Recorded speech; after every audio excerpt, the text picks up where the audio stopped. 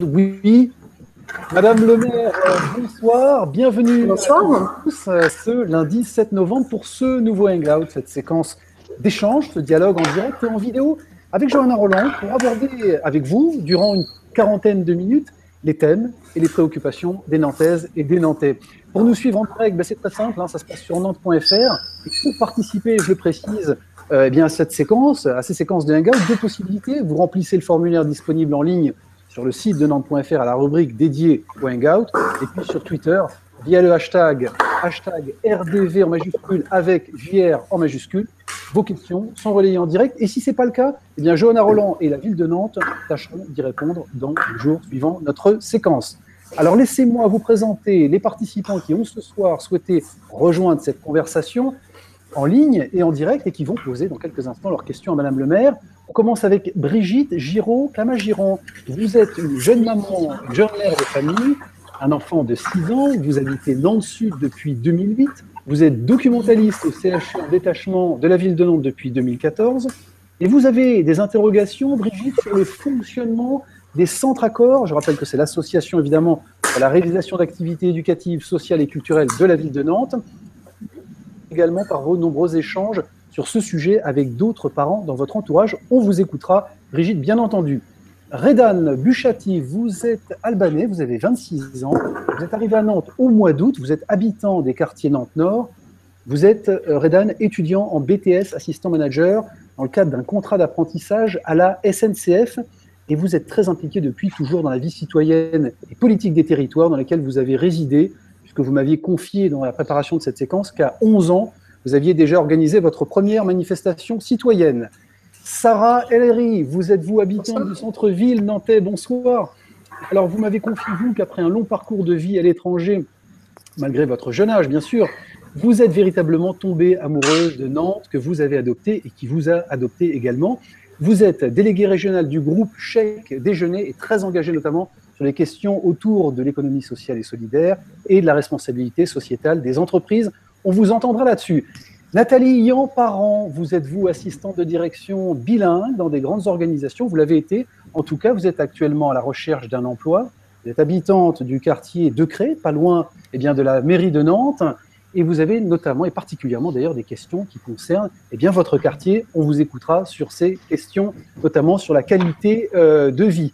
Yann Marot, enfin, vous êtes habitant, vous, de Saint-Herblain, vous êtes informaticien dans une SS2I, est basé en Angleterre. Vous êtes père de trois enfants, vous êtes sur le territoire depuis 22 ans et vous êtes, vous également, très impliqué dans la concertation citoyenne. Vous avez d'ailleurs participé à de nombreux dispositifs et notamment euh, sur la concertation, le, grand débats sur la Loire. Et vous allez participer, vous êtes en train de participer à celui sur la transition énergétique commencé au mois de septembre. Yann, on va commencer d'ailleurs avec vous. Vous aviez une première question sur la démocratie participative. Démocratie participative pour tous. On vous écoute, Yann. Euh, merci de me donner la parole. Madame le maire, bonsoir. Madame Roland. Euh, bonjour, bonsoir à tous. Euh, je me permets effectivement de faire le parallèle avec Madame Roland, puisque je ne suis pas habitant de Nantes, mais de la métropole. Et à ce titre, c'est vrai, si ça ne vous jette pas, moi, ce sera plutôt Madame Roland. On vous, écoute pour votre question. ma, ma, question, effectivement, porte sur donc la démocratie citoyenne et citoyenne.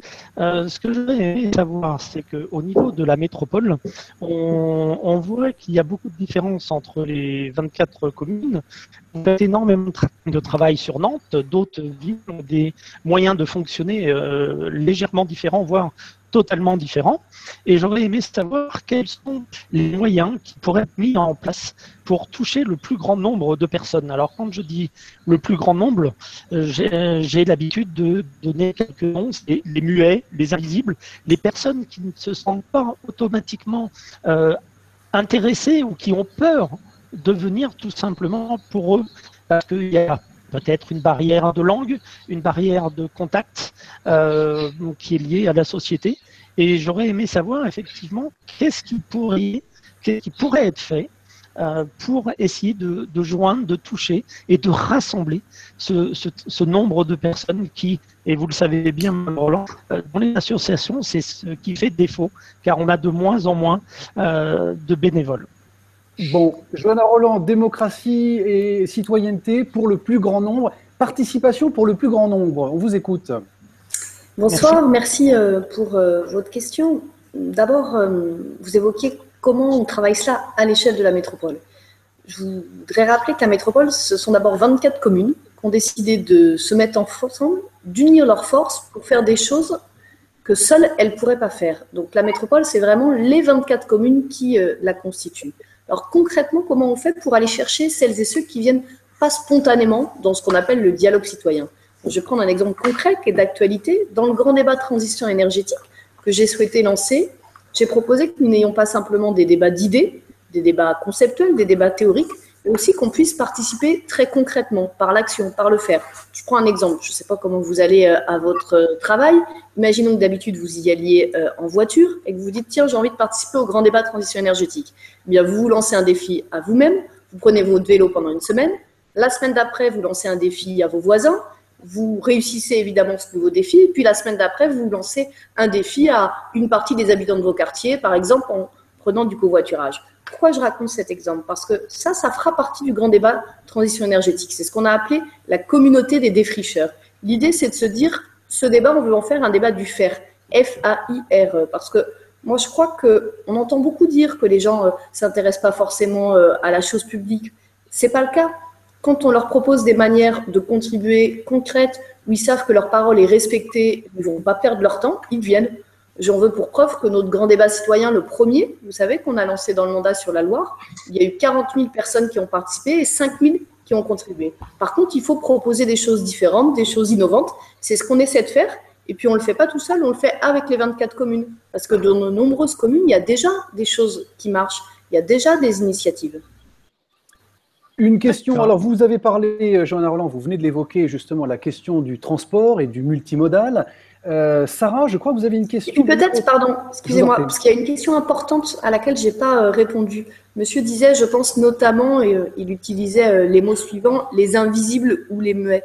Je vois très bien ce qu'il y a derrière cette question, c'est de dire comment finalement celles et ceux pour qui c'est pas forcément simple de prendre la parole en public, qui n'ont pas forcément l'habitude de ce type de démarche, on s'assure de les associer.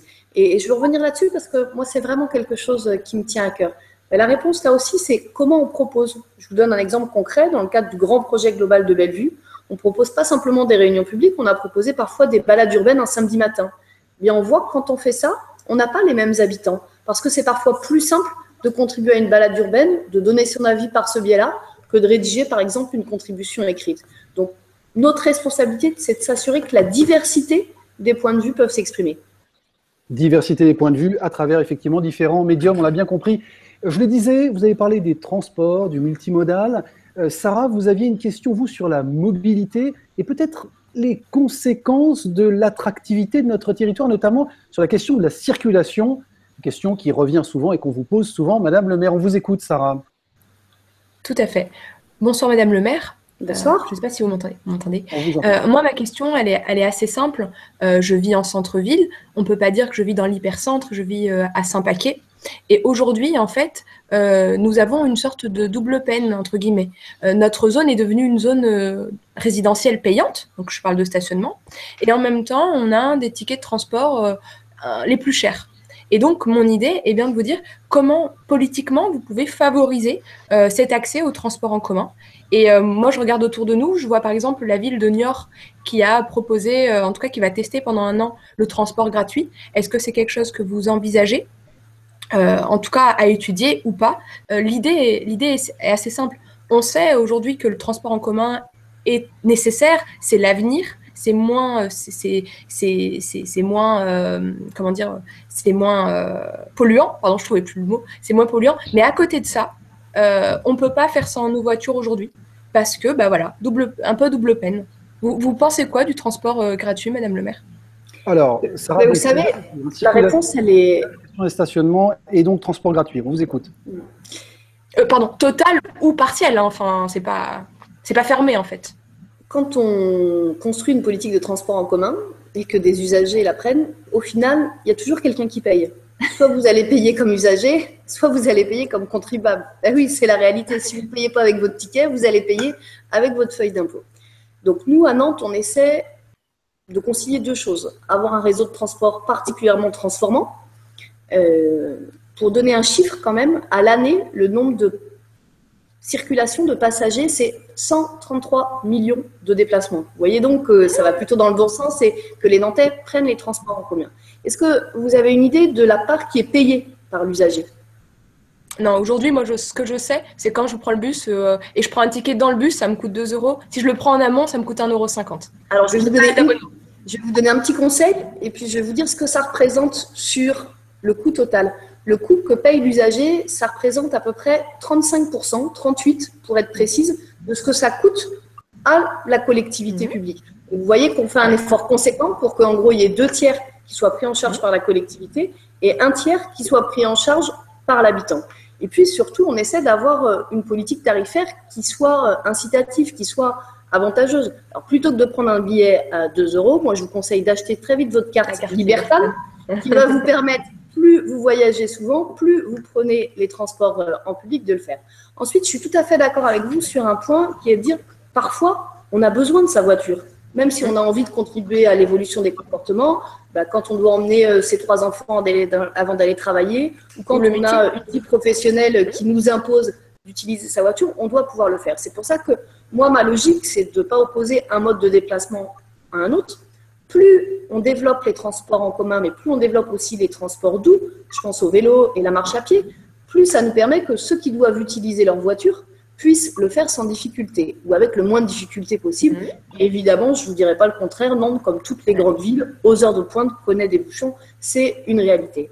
Pour favoriser le fait de pouvoir faire les deux, la voiture et les transports euh, en commun, à l'échelle de la métropole, notre objectif, c'est de développer particulièrement les parkings P plus R, les parkings relais. Et lors du dernier conseil métropolitain, qui a eu lieu il n'y a pas longtemps, on a voté deux nouveaux parkings, un à Bougnay, l'autre à Vertou. Alors vous allez me dire, d'accord, mais moi ça c'est pas mon sujet, je suis habitant du centre-ville à Saint-Paquet.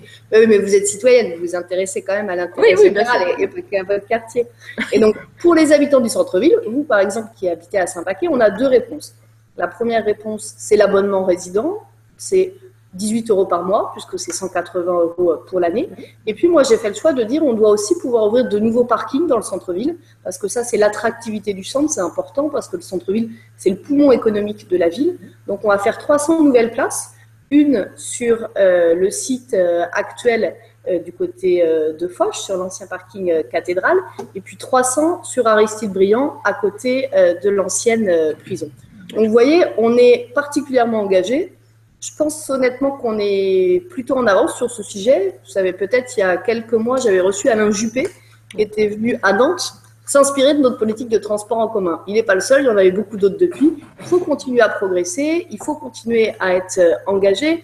Et surtout, pour moi, c'est essentiel, il faut partir du quotidien des habitants. Et je donnerai un dernier exemple. C'est pour ça que, par exemple, on va augmenter de 30% la capacité du busway pour relier le nord et le sud de l'agglomération. Et puis en même temps, on va le passer au tout électrique. Alors, à propos des aménagements également, vous avez parlé des parkings beaucoup plus largement. Et si on se projette, allez, dans le futur, d'ici 10 à 20 ans, Redan, vous aviez une question sur les grands projets de la ville de Nantes dans son, dans son futur. On, vous écoute, Redan. Oui, euh, bonsoir, Madame la maire. Bonsoir. Euh, Nantes est une ville en plein développement et si ça continue avec ce rythme-là, et ça comme euh, par exemple Bruxelles, très multiculturel, bien connu en Europe, avec un grand aéroport peut-être. Euh, ainsi, euh, je suis intéressé à savoir comment sera notre vie de demain. Quels sont concrètement les trois grands projets d'ici 10 ans, 20 ans? Ligne LGV, plus d'habitants, plus d'espace vert, plus d'étudiants, etc. Allez, trois grands projets, Johanna Roland, sur les 10-20 prochaines années pour, pour Nantes. Alors, trois grands projets. D'abord, il y a les projets concrets, les infrastructures. C'est par exemple la nouvelle gare qui va être rénovée par un architecte renommé, Rudy Ricciotti, qui verra le jour dès 2019, qui va doubler la capacité de la gare. C'est, je le souhaite en tout cas, le transfert de l'aéroport, puisque vous l'avez euh, évoqué. Ça, c'est la première chose. La deuxième, c'est que Nantes doit continuer à progresser, et vous en avez parlé, dans son rayonnement international. Pourquoi? Parce que plus Nantes est dynamique, plus Nantes est reconnue à l'échelle européenne et à l'échelle mondiale, plus ça crée de l'économie et donc plus ça crée de l'emploi. Vous savez peut-être qu'on est président d'Eurocities, c'est un réseau de 130 métropoles européennes, et bien clairement, ça nous a permis de progresser dans la reconnaissance de Nantes en Europe. Mais pour moi, Nantes, dans 10 ans, c'est aussi une ville encore plus douce, une ville encore euh, plus agréable à vivre. Et je vais donner un exemple, c'est une ville encore plus verte. Je ne sais pas ce que vous en pensez, mais les Nantais que je rencontre, souvent, ils me disent, nous, on a envie d'une ville moins béton, d'une ville où la nature a plus de place. Donc ça, ce sera aussi un des visages du Nantes dans 10 ans. Sarah, à propos des grands projets, toujours, vous vouliez parler de sport et nous emmener en 2024 si les Jeux Olympiques se passent à Paris. On, vous écoute, Sarah. En fait, euh, du coup, euh, Paris aujourd'hui parle de tous ces grands projets, de de, de, grandes infrastructures. Et moi, je me questionne aujourd'hui sur euh. Est-ce est-ce qu'on envisage la création d'une grande piscine, d'un pôle qui a vocation à accueillir de la natation plutôt de haut niveau comme ça peut être étudié actuellement à Rennes ou à Antibes ou encore mis en place à Chartres. Pourquoi? Parce qu'aujourd'hui, nos piscines, eh ben, on en a déjà six hein, et elles sont en cours de rénovation pour euh, Jules Verne ou encore Gloriette, mais on manque de créneaux. Euh, en tout cas, c'est au quotidien, c'est compliqué. et puis, on grossit et on grandit. Et donc, ma question, c'est est-ce qu'il y a un projet de grande piscine pour la ville, Madame le maire? Et est-ce que quels sont les grands projets d'infrastructures sportives euh, que vous envisagez, en tout cas, et je parle dans 10 ans, 15 ans ou peut-être 20 ans? Cette question euh, du sport de haut niveau, pour moi, elle est vraiment importante parce que euh, je crois que ça fait partie aussi de la dynamique de la ville. C'est la raison pour laquelle on a particulièrement investi ce sujet dans ce mandat avec, je vais vous donner deux, trois exemples concrets. on a inauguré la nouvelle salle de la Trocardière qui nous a permis euh, d'accueillir euh, d'ores et déjà des nouvelles compétitions. Je pense euh, à la partie Stick Up avec Tony Parker. Si on n'avait pas construit cet équipement, on n'aurait pas été capable d'accueillir cette compétition. Puis après, ça s'enchaîne. Il y a eu le premier match. ensuite, d'autres sports regardent, le hand regarde, et aujourd'hui, le hand féminin comme masculin, à l'échelle européenne et mondiale, choisit Nantes comme une terre d'accueil, une terre sportive. Donc ça, c'est quelque chose qu'on va euh, continuer. On a fait un choix qui est d'avoir différentes tailles de salles, le Palais des Sports de Beaulieu, la Trocardière, et puis de manière exceptionnelle, la XXL, la Halle XXL, du côté de la Beaujoire, qu'on peut mettre en configuration 10 000 places. Donc on va continuer ce travail-là. Sur le bassin de natation, pour être très franche, j'aimerais bien vous dire qu'on va faire un super bassin de 50 mètres olympique. Moi, j'aimerais bien aussi, mais on ne peut pas tout faire quand on est responsable, on doit faire des choix. Et le choix qu'on fait aujourd'hui, c'est plutôt sur la question de la natation, la piscine pour tous, et donc de faire en sorte que nos piscines, qui sont très fréquentées par les Nantais, je ne sais pas si vous avez l'occasion d'y ah aller régulièrement, mais regardez par exemple pendant les dernières vacances scolaires, vous prenez une piscine port, c'est plein. Ça veut dire que les Nantais aiment leur piscine, qu'ils y vont souvent. Donc notre priorité, c'est plutôt de continuer la piscine pour tous et notamment l'accès pour les familles pour l'instant. Allez, je voudrais qu'on parle de numérique rapidement. Une double question, celle de Sarah, je la pose sur la question du déploiement de la fibre optique sur Nantes, une question de Yann également par rapport à l'accès au numérique. On vous écoute, Yann, sur cette double question. Alors, cette double question, effectivement, pour euh, reprendre, euh, c'est toujours l'accès euh, au plus grand nombre et avec un débit assez correct. Comme vous pouvez le remarquer, même si je ne suis pas de Nantes à la périphérie, puisque je suis à Saint-Herblain, l'accès, la fibre vient bien jusqu'à chez nous, mais il y a encore des difficultés à effectivement pouvoir être distribué plus largement dans les quartiers. Quand on est en centre-ville, effectivement, on a euh, plus de possibilités et l'ouverture, effectivement, de ce débit permettrait à tous et à chacun, ne serait-ce que dans les, médiathèques, les, lieux publics de la ville de Nantes et, des autres communes, à un plus grand nombre de personnes à pouvoir euh, se l'accaparer tant que chez eux, ils ne puissent, puissent pas l'avoir. Alors effectivement, ma demande, euh, qui n'est pas liée forcément aux fournisseurs, parce que varier de l'un à l'autre. Est-ce que vous avez, vous, une politique euh, de, du tout numérique hein, puisqu'on a eu euh, l'open data il y a maintenant son erreur trois ans, euh, et c'était très bien d'ailleurs, il faut continuer de ce côté-là. Est-ce que vous avez effectivement une politique pour bah, mailler la ville pour le plus grand nombre avec un accès correct? Bon, déploiement de la fibre et comment vous pesez, vous, collectivité, par rapport aux fournisseurs aux opérateurs sur cette question de, de l'accès au numérique. Joanna Roland. Voilà. Dans une ville comme Saint-Herblain, puisque euh, c'est euh, votre cas, ce sont les opérateurs privés qui ont euh, en charge cette responsabilité de développer l'alimentation numérique. Donc, pour ne pas les citer, sur l'agglomération, il y a deux grands opérateurs privés concernés, Orange et SFR. Donc, qu'est-ce que nous, on peut faire? Et plutôt, qu'est-ce qu'on a déjà fait? On a d'ores et déjà écrit à ces groupes, on leur a demandé de venir présenter devant tous les maires, devant les 24 maires de la métropole leur engagement, quel était leur calendrier et comment ils comptaient tenir leur calendrier pour que, effectivement, l'ensemble des communes puissent être couvertes. Et je peux vous garantir une chose, c'est que tous les maires de la métropole, bien au-delà des sensibilités politiques, sont très vigilants à ce que ces opérateurs privés puissent effectivement euh, respecter les engagements qu'ils ont pris devant nous. On avait une question, on change de sujet complètement, une question évidemment très importante, Sarah, sur la question de l'économie sociale et solidaire et de l'achat responsable particulièrement. On vous écoute, Sarah. Tout à fait. Madame le maire, euh, aujourd'hui j'ai la chance de pouvoir participer à Planète RSE par exemple, et euh, je vois bien que la Nantes, enfin la ville et la métropole sont très engagées sur les questions de, RSE.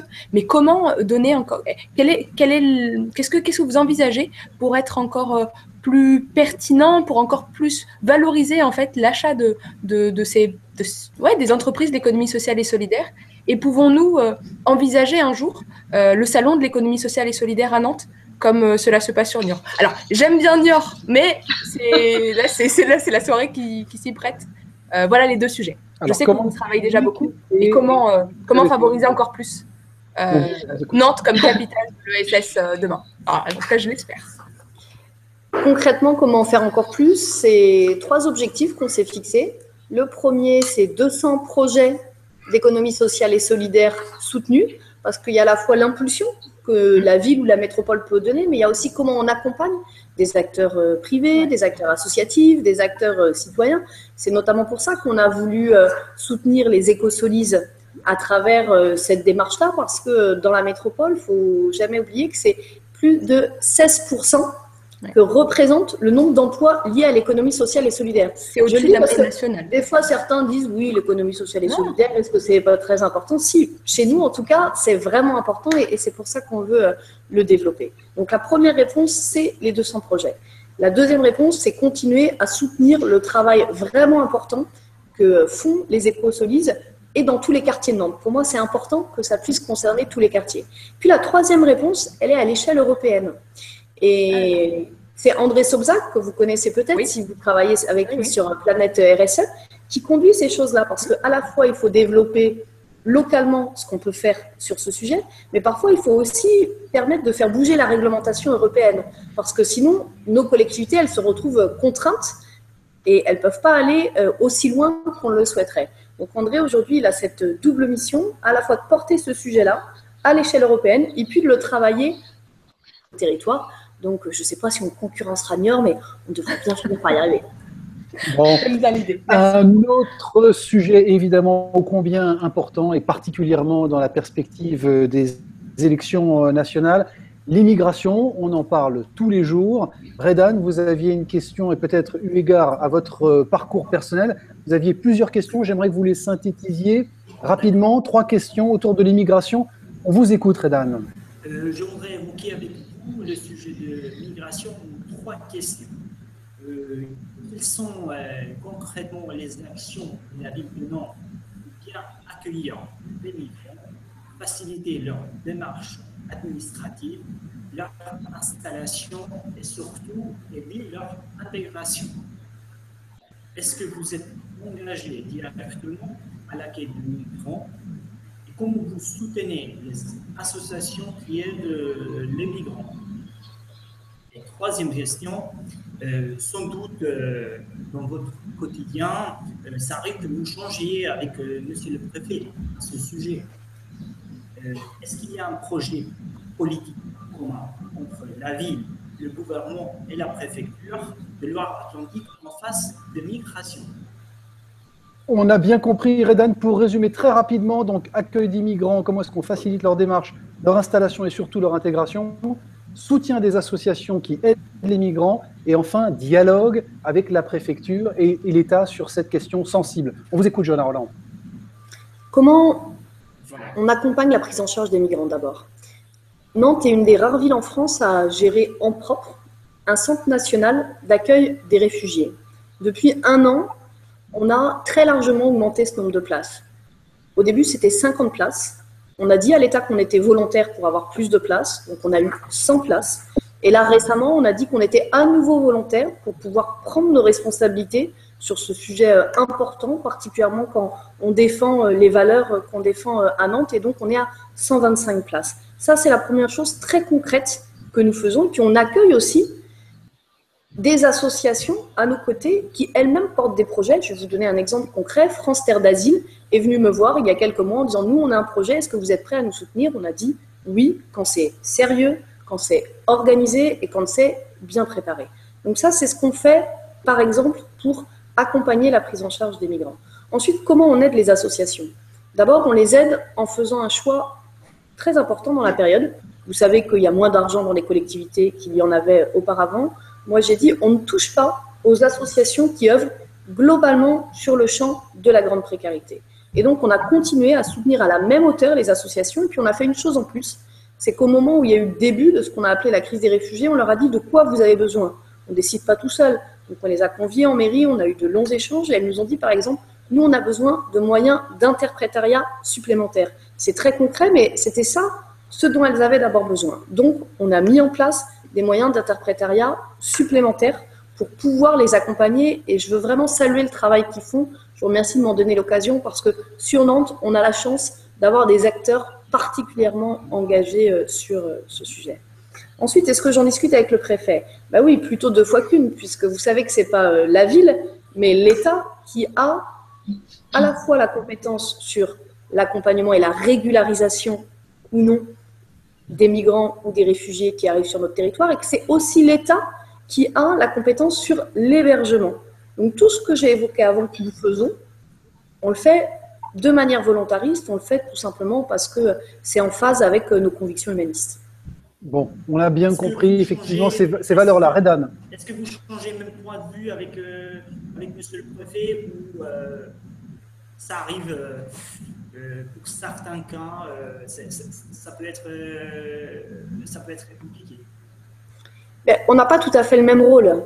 Lui, il est le représentant de l'État, donc il intervient dans le strict cadre de la loi et il fait la loi et rien que la loi, c'est sa responsabilité moi, en tant que maire, sur ce sujet, j'ai souhaité qu'on aille au-delà de ce qu'on appelle les obligations réglementaires. Je vais vous donner un autre exemple très concret.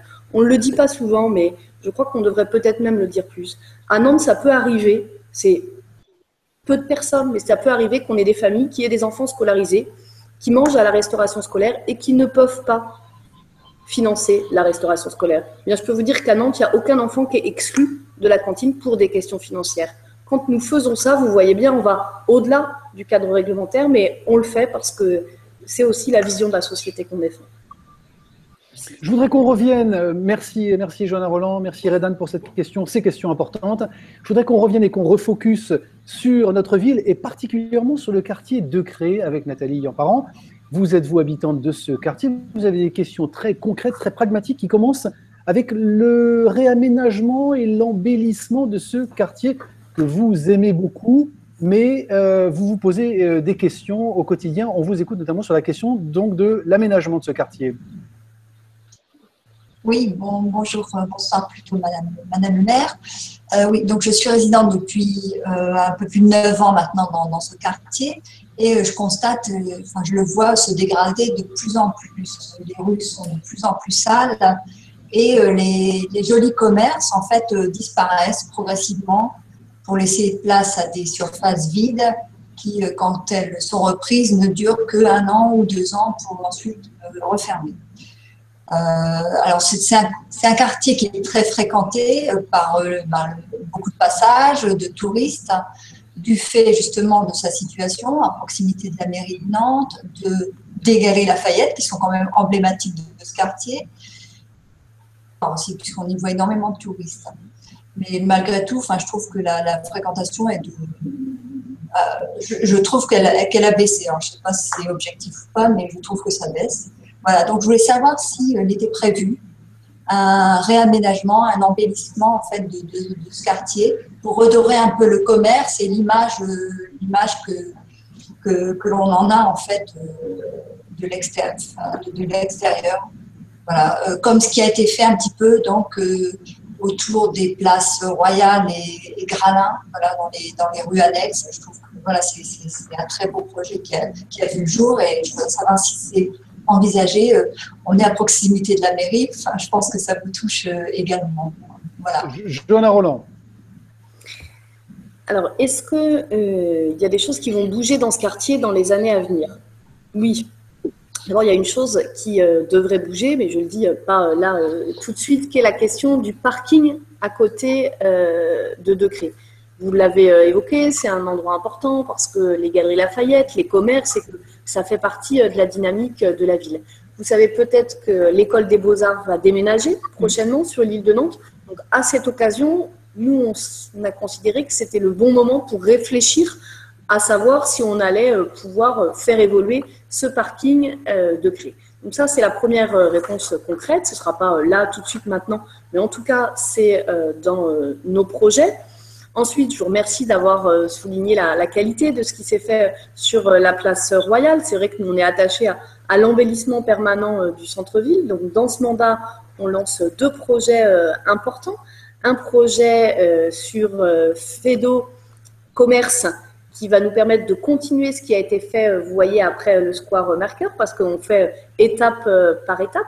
Et puis, euh, en 2018, on lancera un, grand concours international sur le site de la Petite Hollande.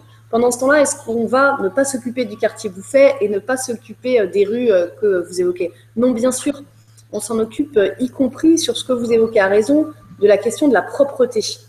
Pour moi, ça c'est extrêmement important parce que ça participe de l'image de la ville. Donc, je pourrais détailler plus si ça, vous, intéresse, mais on a mis en place une commission propreté pour à la fois faire euh, de la prévention, mais aussi parfois de la sanction quand c'est nécessaire, parce que ça fait partie aussi euh, de l'image euh, de la ville et, particulièrement du centre-ville. Oui, vous aviez, vous, des questions, Nathalie, précisément sur la gestion des ordures ménagères et celle des, commerces, aussi générées par les commerces, et également par la population de sans domicile fixe hein, dans ces rues-là. Voilà, c'est ça. c'est pas. C'est vrai qu'il y a énormément de, alors de, sans domicile fixe. Enfin, je ne sais pas comment on peut les appeler. Euh, on trouve en fait que c'est devenu un gros, un grand urinoir public en fait. Toutes les rues là autour de, de, Cré, de, notamment des galeries à Lafayette, c'est un, un, urinoir et d'ailleurs des, gens se permettent même à aux portes de, leur euh, entrée de mettre des messages ceci n'est pas un urinoir, s'il vous plaît, le respecter. je trouve ça inadmissible. Qu'est-ce que l'on peut faire contre ça? Euh, Également, les, poubelles, vous disiez qu'il y a une commission propreté qui est mise en place. De plus en plus, les poubelles restent dans les rues quand elles ne sont pas déversées sur les, sur, trottoirs. du coup, les éboueurs ne les ramassent plus. Enfin, c'est Enfin, ça devient, je, trouve que c'est critique à, ce niveau-là. et je, ne sais pas comment. Qu'est-ce qui est envisagé justement pour contrer tout cela Vous savez, c'est un sujet sur lequel, on, doit, sur lequel on doit euh, progresser en permanence. Prenez l'exemple des poubelles. Sur Bouffet, on avait euh, initialement euh, des bacs. On s'est rendu compte que ça avait aussi des limites, donc on est passé à des colonnes enterrées c'est mieux, mais on doit continuer euh, encore euh, à euh, progresser. Et puis je le dis quand même, même si évidemment la ville doit jouer son rôle, trouver des nouvelles solutions, il y a aussi une part de responsabilité individuelle de chacun. On ne sera jamais derrière chaque Nantaise, chaque Nantais à n'importe quelle heure du jour et de la nuit pour voir si chacun fait preuve du minimum de civisme. Donc il y a à la fois ce que la collectivité locale fait. Quand j'évoquais la commission de propreté, concrètement, elle fait quoi cette commission? Quand on se rend compte qu'il y a des dépôts sauvages, si c'est la première fois et que c'est quelqu'un euh, de bonne foi, j'ai envie de dire, eh bien, il a simplement un rappel à la règle. Si c'est quelqu'un qui, euh, à l'évidence, ne respecte pas euh, tout simplement le vivre ensemble collectif, eh bien, on va jusqu'à la sanction, jusqu'à l'amende. Donc ça, c'est vraiment notre, notre état d'esprit. Sur la question des personnes en grande précarité que vous évoquez et qui sont présentes en disant est-ce que quelque chose est fait pour cette situation On fait trois choses. D'abord, il y a des dispositifs de l'État, ce qu'on appelle le 115, donc la ville contribue à, cela. Il y a des associations qui font un travail absolument exemplaire à Nantes, je pense à une association comme l'Écoute de la rue ou bien d'autres. Et puis, il y a le travail social qui est fait, par exemple, par le Centre communal d'action sociale. Et puis derrière ça, il y a le fait, et c'est aussi euh, ce que j'entends dans votre question, c'est est-ce qu'on se sent bien et est-ce qu'on se sent en sécurité dans notre centre-ville? Et pour moi, ces sujets-là, ils sont absolument essentiels, et y compris la question de la propreté, ça participe du fait de dire est-ce qu'on se sent bien ou pas dans la ville.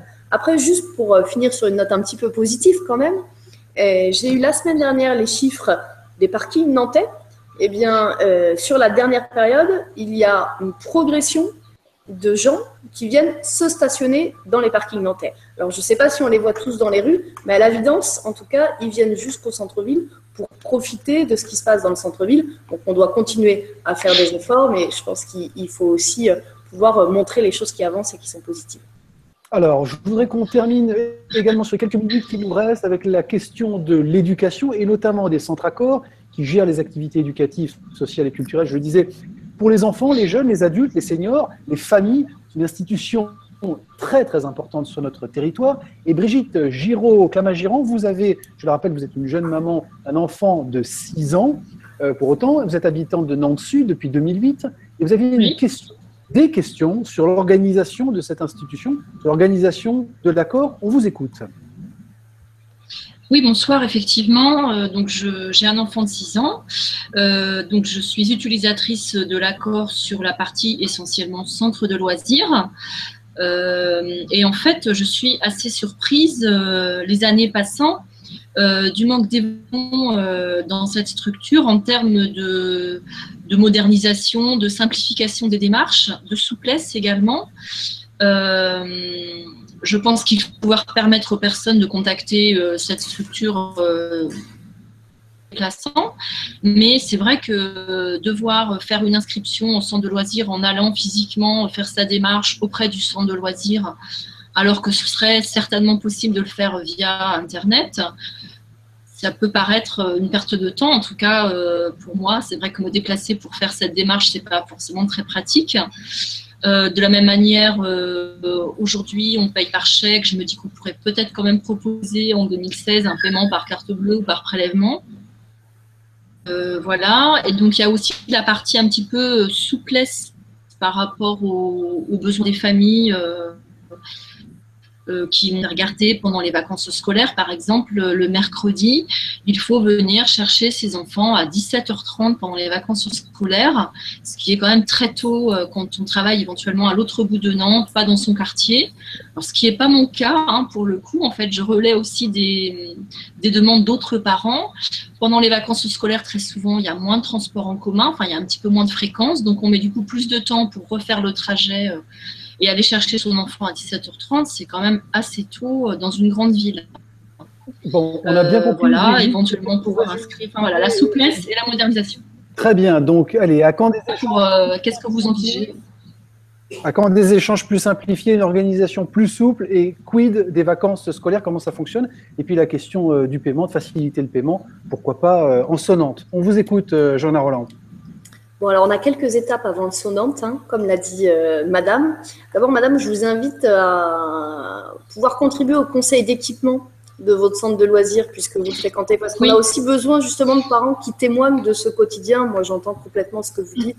J'ai eu de nombreux retours de Nantais qui me disent, bien voilà, le fait de devoir faire la queue pendant parfois euh, longtemps, il faut euh, le reconnaître pour pouvoir inscrire son enfant. On attend aujourd'hui un, service plus simplifié.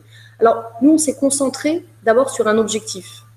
Notre objectif, c'est qu'on avait besoin de créer des nouvelles places.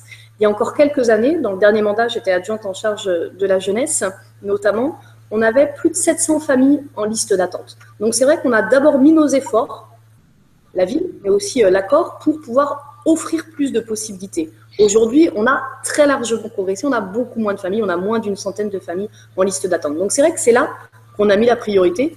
Aujourd'hui, clairement, dans les discussions qu'on a avec l'accord, on a toutes ces questions de modernisation, ce que vous avez évoqué, inscription par Internet notamment. et je vais vous faire une confidence, on réfléchit même, mais on n'est pas prêt, on y travaille, à ce que demain on puisse inscrire son enfant en même temps au périscolaire du soir et pourquoi pas à l'accord. Parce que quand on est une mère de famille, on raisonne sur sa semaine. Vous dites mes enfants, qu'est-ce qu'ils font? Quel jour j'ai besoin qu'ils restent euh, au périscolaire le soir? Est-ce que je les mets à l'accord le mercredi après-midi? Et vous, finalement, c'est pas tellement votre problème de savoir si le soir c'est en action périscolaire et le mercredi c'est l'accord.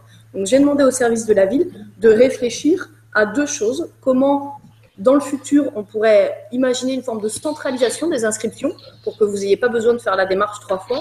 Et évidemment, à cette occasion, toutes les questions Internet, numérique, mais même pourquoi pas SMS, euh, être prévenu quand euh, il y a telle ou telle difficulté dans tel centre. C'est aujourd'hui des choses qui sont en train d'être euh, travaillées. Donc j'espère que prochainement, on pourra faire avancer ça. Par contre, je voudrais revenir sur votre deuxième partie de question qui était de dire comment on pourrait faire pour avoir des horaires plus souples notamment 5h30, 6h30. Là, nous, on doit concilier deux choses, à la fois être le plus souple possible pour les familles, on est là pour vous faciliter la vie, hein, c'est notre responsabilité, c'est pour ça qu'on travaille, et en même temps, il faut qu'on puisse s'assurer d'avoir suffisamment de professionnels qui ont suffisamment d'heures, parce que ça leur permet d'être suffisamment formés pour proposer des activités de qualité. Donc on essaie de trouver euh, le bon compromis, le bon équilibre entre progresser en souplesse pour les familles, mais quand même garder des plages suffisamment importantes pour que les activités qui sont proposées à nos enfants soient euh, intéressantes.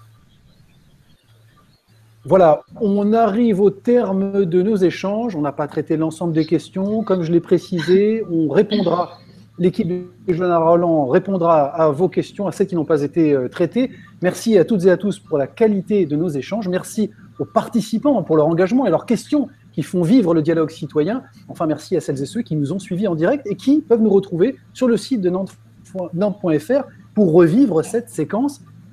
Évidemment, pour votre présence et votre disponibilité, je vous laisse peut-être quelques mots de conclusion. Tout simplement, euh, vous remercier chacune euh, et chacun euh, d'avoir contribué à, ce moment qui pour moi est toujours un moment d'abord important parce que c'est une autre manière de dialoguer en direct avec les Nantaises et, les Nantais. Et puis inviter euh, ceux qui ne se sont pas encore inscrits pour participer à le faire euh, une prochaine fois. Merci en tout cas pour euh, vos questions et puis surtout pour l'intérêt que, que vous portez à votre ville. Très bien, bonne soirée à toutes et à tous et à très bientôt pour le prochain Hangout.